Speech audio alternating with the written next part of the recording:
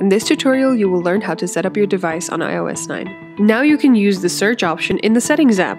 You can use it to quickly search for the settings rather than navigating through different screens to get to the setting you want to change. Your battery has its own settings panel in the Settings app in iOS 9. This allows you to enable or disable low power mode and where you can check your battery usage.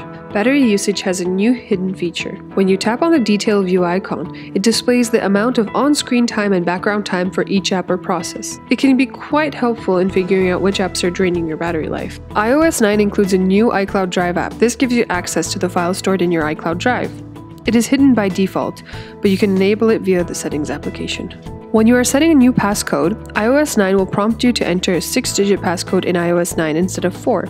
This makes your passcode a lot tougher to crack. You also have the option to continue using a 4 digit numeric code. You can find this function when you tap on the password options. There's a new toggle in the Settings app that allows you to group your notifications by app. Just tap Settings, Notifications, Group by App. You now have a new 30 second option to auto lock your iPhone or iPad. Just tap on Settings, General, and Auto Lock.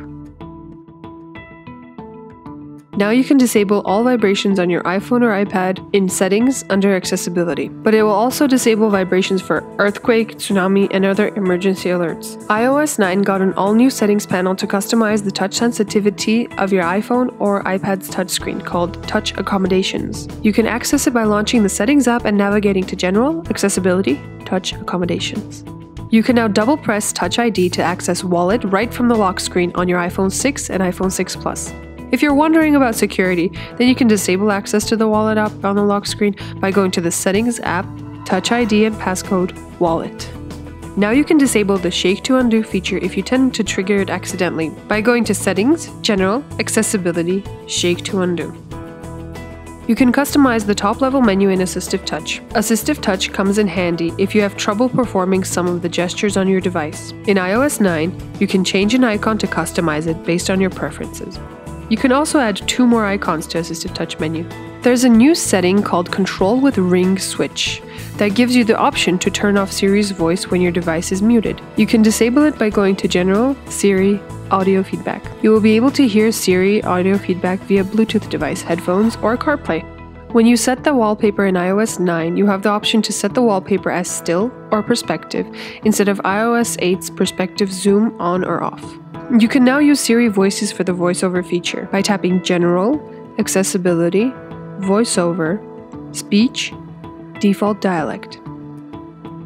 Apple has made it easier to figure out if you're going to type in caps or lowercase. In iOS 9, lowercase characters are displayed on the keys when Shift key is turned off, and capital letters are displayed when it's on. If you don't like it, then you can disable it by going to Settings, General, Accessibility, Keyboard.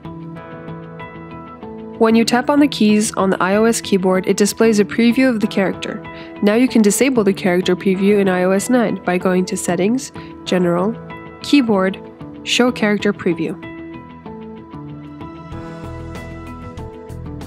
Passwords in Safari are now protected by Touch ID. When you go to Settings, Safari, Passwords, it now gives you a prompt asking to use your Touch ID to view passwords.